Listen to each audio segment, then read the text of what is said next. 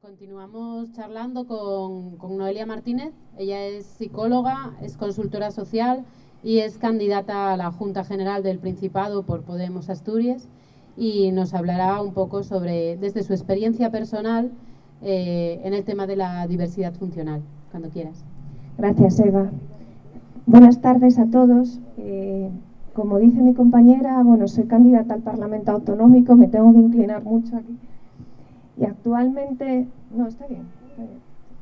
Actualmente tengo un 47% de discapacidad y voy a hablar de este proceso de cambio que está iniciando en Asturias, pero desde mi perspectiva personal.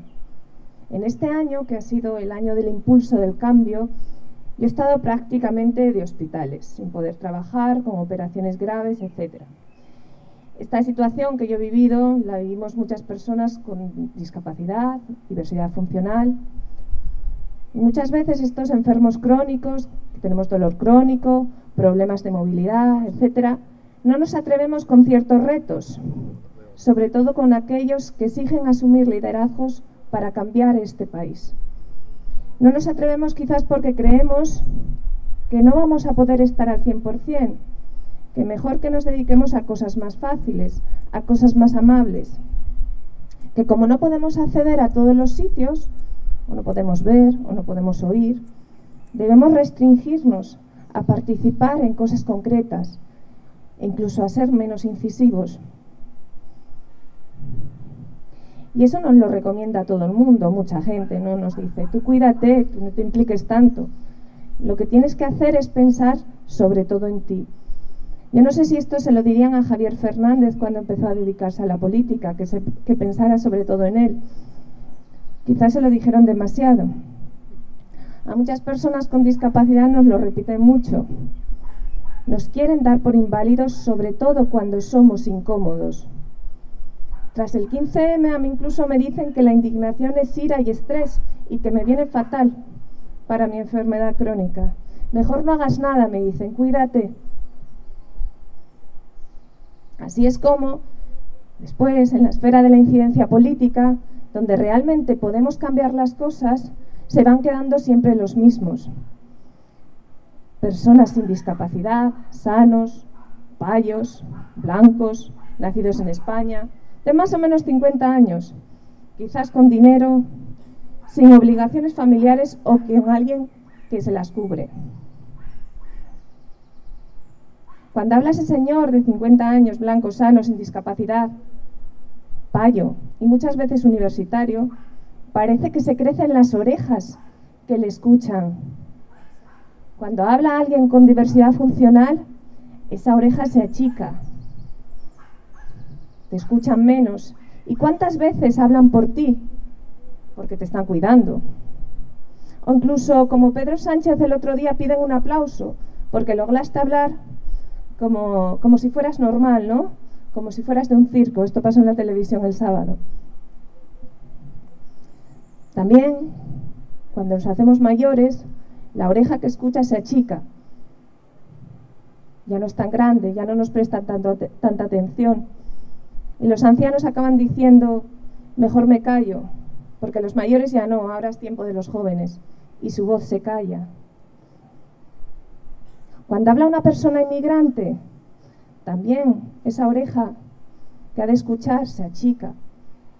Y la persona inmigrante acaba pensando, mejor me callo, porque las personas inmigrantes, bueno, todavía no sabemos muy bien cómo funciona este país, quizás no nos sabemos expresar bien, y esa voz también se calla. Cuando habla una mujer, en general, esa oreja también se achica. Y así sucesivamente, esas voces se van apagando y son nuestras voces. Y queda solo ese señor hablándole a la gran oreja, al universitario blanco de 50 años con dinero, probablemente heterosexual y sin cargas familiares, o alguien se las cubre. Y la mirada política acaba siendo una mirada miope, uniforme, desde una sola perspectiva, la de ese señor. Y desde esa perspectiva es que hasta ahora se están haciendo muchas de las políticas públicas, de manera uniformante, de manera inaccesible.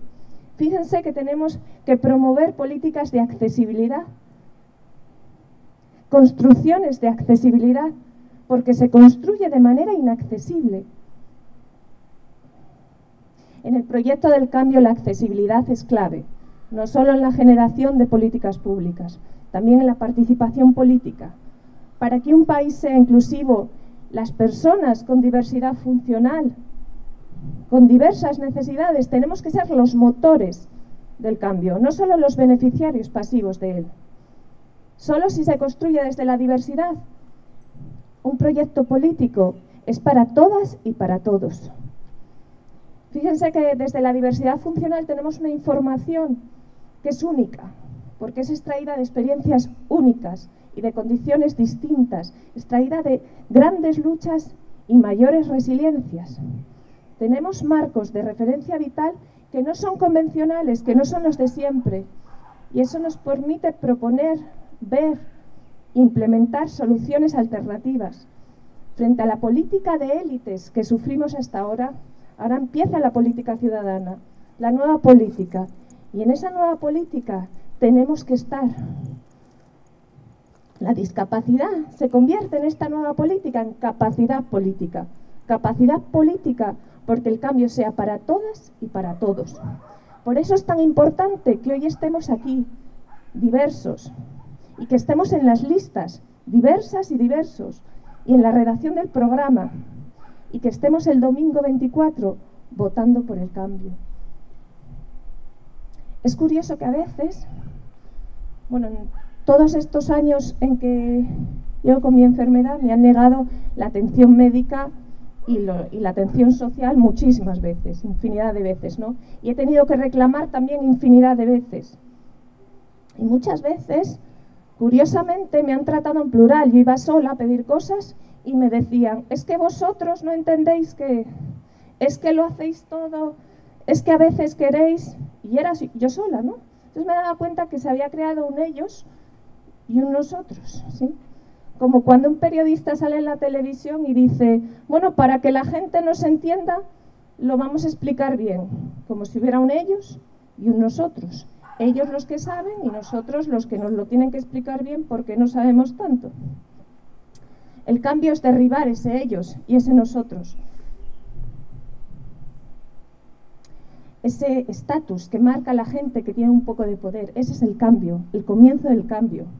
A partir de ahora vamos a ser todos ellos y vamos a ser todos nosotros. Vamos a hacer un gobierno de la gente y para la gente. Muchas gracias y buenas tardes.